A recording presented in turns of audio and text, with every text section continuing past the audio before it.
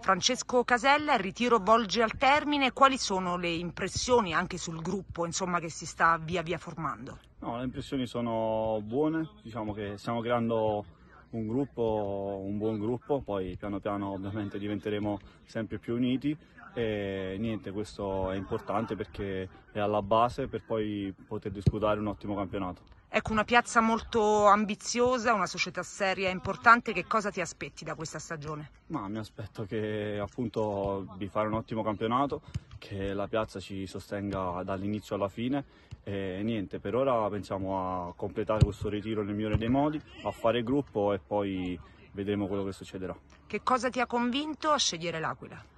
Ma io ero già stato contattato, se, così possiamo dire, a gennaio e quando ho saputo della diciamo, richiamata non ci ho pensato due volte, sapevo della, diciamo, della, di quanto è gloriosa questa piazza, di come merita altre categorie e niente, ho subito accettato. Facciamo un saluto ai tifosi che già vi stanno seguendo insomma, con molta passione anche in ritiro. Un saluto ai tifosi, ci vediamo allo Stadio Gran Sasso e un abbraccio.